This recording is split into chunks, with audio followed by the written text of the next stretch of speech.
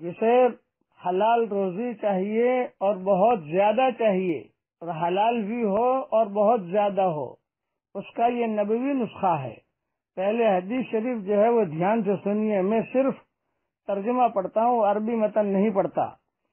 इमाम मालिक अलैह ने हज़रत अब्दुल्ला रदी अल्लाह तुमा से रिवायत किया है कि एक रोज एक आदमी हज़रत मोहम्मद सल्लल्लाहु अलैहि वसल्लम के दरबार में हाजिर हुआ और अर्ज़ किया कि या रसूल अल्लाह सल्लल्लाहु अलैहि वसल्लम, दुनिया ने मेरी तरफ़ से पीठ फेर ली है और मुँह भी फेर लिया है। यानी बरकत नहीं होती, माल नहीं मिलता। रोजी नहीं मिलती, कुशादा नहीं मिलती। तो हज़रत मोहम्मद सल्लल्लाहु अलैहि वसल्लम ने उस आदमी को कहा कि फरिश्तों की जो नमाज़ है और अल्लाह की मखलूक की जो तस्वीर है तो उससे क्यों गाफिल है? उसी तस्वीर के बदले सारी मखलूक को, चरिंदों को, परिंदों को, मछलियों को सबको उसी के सत्ते, उन सबको रोजी दी जाती है।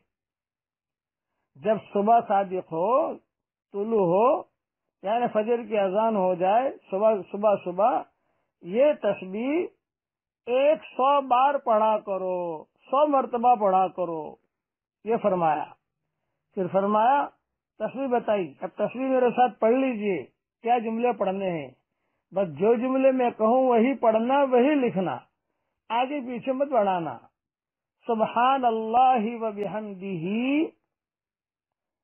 सुबहान अल्लाजीम अस्तगफिरुल्लाह। बस, इतना पढ़ना है।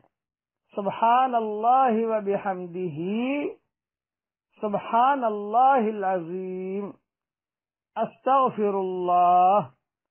हज़रत मोहम्मद सल्लल्लाहु अलैहि वसल्लम ने आगे इरशाद फरमाया ताती दुनिया सागरा, दुनिया तेरे पास जलील होकर आएगी।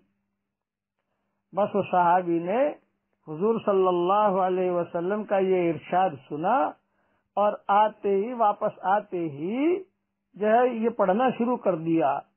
बस इसमें दो चीज़ें हैं, सौ मरतबा पढ़ना है, एक दूसरा सुबह सुबह पढ़ना है, ये खबर रखना।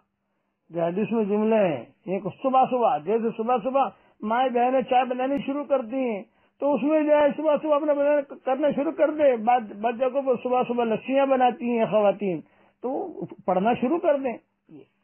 इसमें फजर की सुन्नत और फरज के दरमियान पढ़ना ये हदीस में नहीं आता है, लेकिन हमारे मशाइ जो है ये लोगों को कहते थे कि वो वक्त ज़्यादा अच्छा है, इसलिए फजर की सुन्नत के बाद पढ़ो।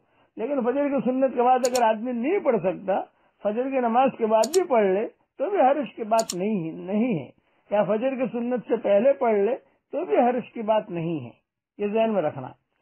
तो हजूर सल्लल्लाहु ने फरमाया कि वो आदमी ने ये अमल शुरू कर दिया, वो सहाबी ने। जब वापस आया पूछा भी क्या रहा तुम्हारा? तो फरमाया कि, हज़रत, अल्लाह ने बहुत बरकत दी, इतनी बरकत दी, इतनी बरकत दी कि अब मुझे उसके रखने की जगह भी नहीं मिलती। ये रिश्ते हलाल के दरवाज़ा कुशादा करने का नबी नुस्खा है।